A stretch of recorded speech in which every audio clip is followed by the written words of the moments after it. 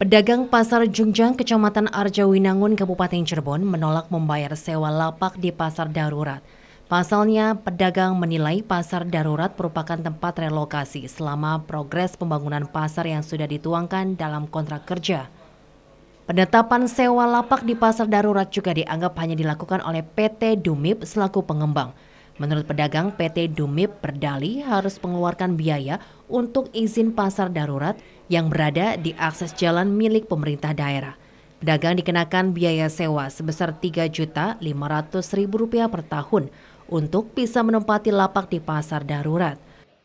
Uh, tadinya memang ada selebaran untuk pedagang-pedagang yang uh, di darurat itu dikenakan sewa 3.500 per tahun. Cuman karena kan kalau darurat itu kan harusnya relokasi.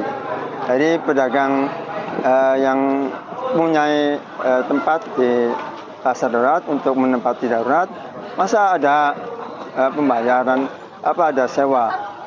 Tentunya kan kita menolak.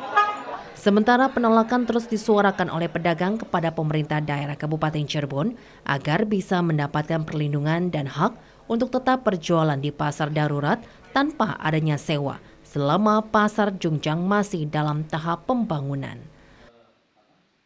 Muhammad Solihin, RCTV, Cirebon.